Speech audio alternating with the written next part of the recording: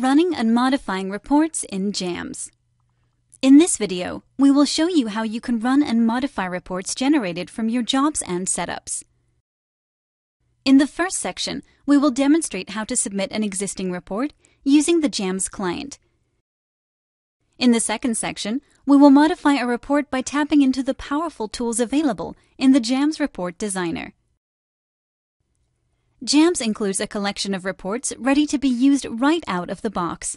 These include the detailed job report, which gives us a visual for all the information on a job, Jobs per Submitter report, which contains information that will help you see where your jobs are originating from, the Current Schedule report, which displays the job name, description, current state, and scheduled time of all jobs within a time window we define the completion status per day chart, which shows us the final severity of the total jobs run within a time window, and many more. To access these reports, let's begin by selecting the Reporting tab and choosing the Open icon on the ribbon bar. The Open JAMS Report dialog displays a list of categories containing both user-created and pre-installed reports. Next, let's expand a category, highlight one of the listed reports, and then select the OK button. We could also open any previously saved standalone reports by choosing the File button and navigating to that file. After the report has been selected, a Parameters dialog appears.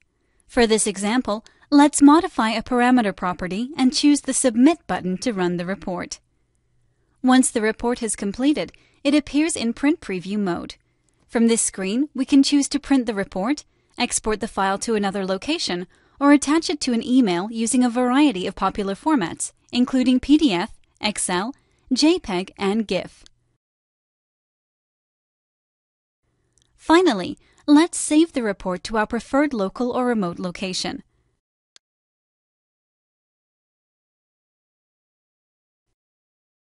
The JAMS client contains a built-in report designer that allows you to modify any existing report or, if you choose, create an entirely new one from scratch. In order to get familiar with the report designer, we will demonstrate how to modify an existing report. To open the report designer, select the JAMS tab. Choose the report icon on the ribbon bar and then click the Open icon. From the Open JAMS Report dialog, let's expand a category, highlight a report, and choose the OK button. Notice how the report's components now appear in the center layout palette, bounded by other tool and property panels. Each panel contains unique settings and controls that are used to define and customize any component of our report. For example, the Toolbox panel contains an assortment of control objects available to be added to the report, such as fields, labels, and picture boxes. The Report Explorer panel displays the report structure using a tree format. The Field List panel provides an ordered list of the report's field controls, linked with the underlying JAMS data. Finally, the Property Grid panel includes extensive format and layout settings that are used to modify any object placed in the report area. To make a modification to the report, let's start by modifying an object in one of the report layout bands. Each band separates key sections of the report, such as headers and footers, as well as the report's palette area.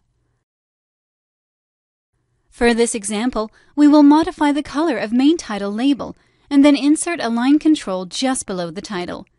To begin, highlight the title in the report's header band. Then, from the property grid, Let's expand the foreground color drop-down and choose Crimson.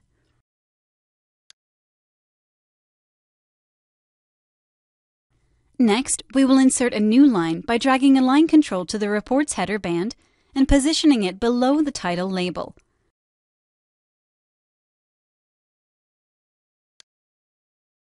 Finally, let's see how our actual report will look by selecting the Print Preview tab and clicking the Submit button.